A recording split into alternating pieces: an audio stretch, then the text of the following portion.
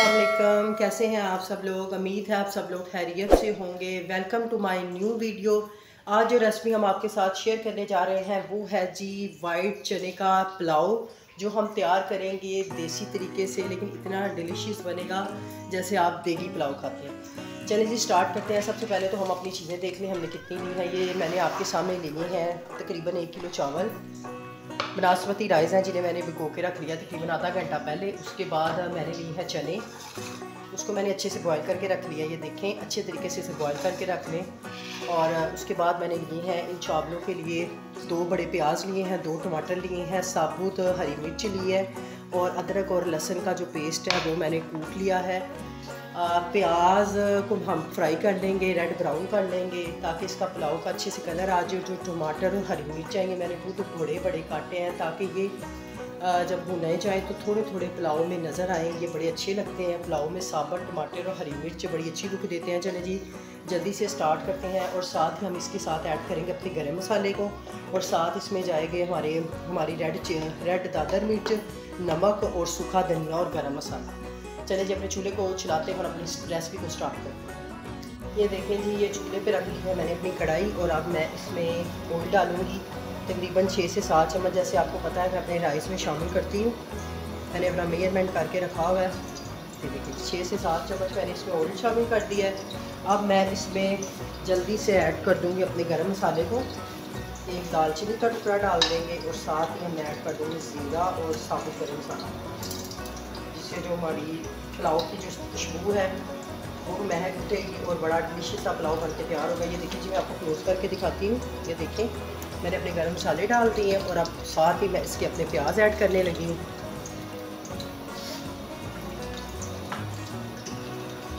प्याज को मैं अच्छे तरीके के साथ लाइट ब्राउन करूँगी। ये देखें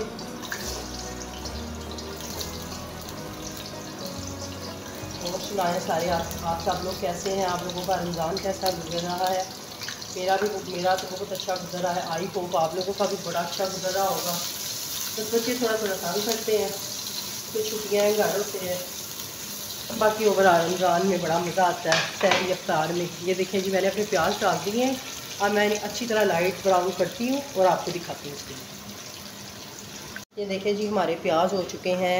डार्क कलर के ब्राउन हमें इस कलर में चाहिए, जिससे हमारे पुलाव का जायका बहुत ही मज़े का आएगा। अब हम झटपट से इसमें ऐड कर देते हैं अपने अदरक लहसुन का पेस्ट और उसको भी इस मसाले में भून देते हैं। और भूनने के बाद, एक से दो मिनट भूनने के बाद मैं इसमें शामिल कर दूँगी अपने टमाटर और हरी मिर्च। ये देखें, ये अच्छे तरीके से भून रहा है। और अब साथ ही मैं इसके टमाटर और हरी मिर्च ऐड कर दूँगी। इसको भी अच्छे तरीके के साथ भून लूँगी। तकरीबन दो से तीन मिनट के लिए ताकि इसका जो कच्चा पान है, इसकी स्मेल है, वो ख़त्म हो जाए। और अब साथ ही मैं इसी स्टेज पे अपने जो स्पाइसेस हैं, वो ऐड करने लगी हूँ। वो आप देख लें। ये देखें जी, सबसे पहले तो मैंने आपके सामने इसमें डाली है हरी मिर्च। अब मैं डालूँगी तकरीबन इसमें एक टेबल स्पून दादर मिर्च का। और इसमें ऐड करेंगे नमक। जो मेरी मेज़रमेंट के हिसाब से तकरीबन डलेगा, इसमें one and half tablespoon आप अपनी मर्ज़ी से डाल सकते हैं, जितना भी चाहें, क्योंकि मैंने इसमें जो एक चीज़ की हो गई थी चिकन पाउडर इसमें मैं थोड़ा सा चिकन पाउडर भी शामिल करूँगी, जिससे चिकन पुलाव का जायका बहुत ही मज़े का बन के आ जाएगा। ये देखें जी, ये मेरा है कुटा हुआ सूखा धनिया और ज़ीरा, ये मैं ऐड कर रही हूँ। इससे जो हमारा पुलाव है उसकी स्मेल बहुत अच्छी आएगी।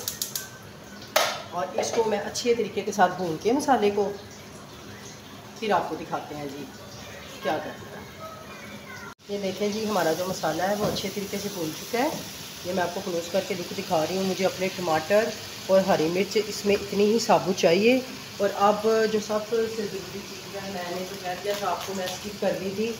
अपना चिकन पाउडर वो इसमें ऐड कर दूँगी। तकरीबन हाफ़ टेबल स्पून और इसके साथ ही फिर इसमें मैं ऐड कर दूँगी अपने चने, जो वाइट चने। हैं इससे जो हमारे, हमारा जो चनों का पुलाव है, उसमें जो सारा चिकन का वो टेस्ट आ जाएगा चिकन पाउडर डालने की वजह से पूरा ये मैं आपके सामने इसमें ऐड करने लगी हूँ अपने चने। ये देखिए, मैंने चने ऐड कर दिए इसमें। अब इसको एक से दो मिनट के लिए भूनेंगे और फिर इसमें जो अपना पानी है वो ऐड कर देंगे। और जी, हमारा जो वाइट चनों का पुलाव है वो झटपट से बन के रेडी हो जाएगा ये देखिए जी वैसे थोड़ी देर के लिए डांप देती हूँ, ज़रा मसाला चनों में ऑब्ज़र्व हो जाए फिर आपको दिखाते हैं कि जो इसमें चावल है, वो हमने कैसे है। हमारे अच्छी तरीके से भून चुके हैं और अब स्टेज पे मैं डालने लगी हूँ पानी। मयरमेंट मैंने करके रखा हुआ है पानी का। पानी डालने के बाद इसे अच्छे तरीके से दो तीन उबाले आएँगे तो हम अपने चावल डाल देंगे। ये देखिए, मैंने पानी डाल दिया इसमें। और, उबाले आने के बाद हम इसमें चावल डाल ये देखें जी, हमारे पानी को आने शुरू हो गए हैं उबाल और अब मैं स्टेज में डालने लगी अपने चावलों को। अच्छा इस स्टेज पे आप अपने नमक मिर्च चेक कर सकते हैं, अगर कम हो तो आप इसमें और ऐड कर सकते हैं। ये देखें जी, मैं इसमें शामिल करने लगी हूँ राइस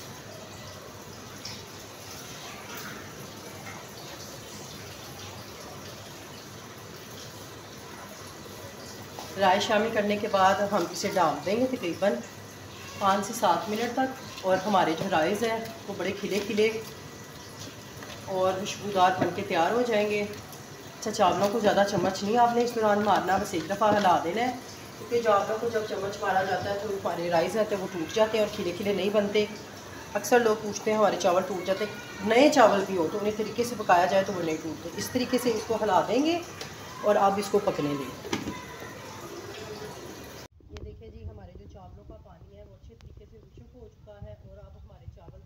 देंगे